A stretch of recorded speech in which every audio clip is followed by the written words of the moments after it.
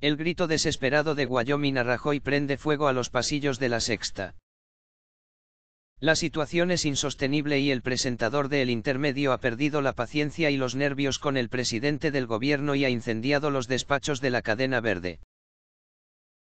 Con tanta política catalana, madrileña y los terribles y trágicos sucesos que vienen conmocionando a la sociedad desde hace semanas, este martes Wyoming optó por hablar del tiempo en el intermedio de la sexta el día del comienzo de la primavera más helada de los últimos tiempos.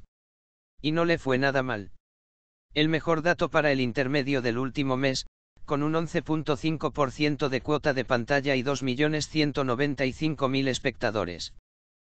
Y es que a los españoles lo de enlazar tantas semanas seguidas de frío y lluvia les está empezando a dejar de hacer gracia y Wyoming recogió el guante del sentir popular tirando de guasa e instó a Mariano Rajoy a tomar medidas tras la entrada de la primavera, escuche el clamor de los españoles.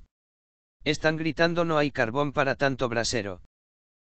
Todo solemnidad, el presentador de la sexta hasta se desplazó al pico de la mesa del intermedio para reflexionar sobre la grave situación que vive el país, los jubilados reclaman pensiones dignas, hay un encendido debate por la prisión permanente revisable con los pensionistas, Cataluña se encuentra sumida en un bloqueo que parece no tener fin pero lo más preocupante de todo, es que ha empezado la primavera.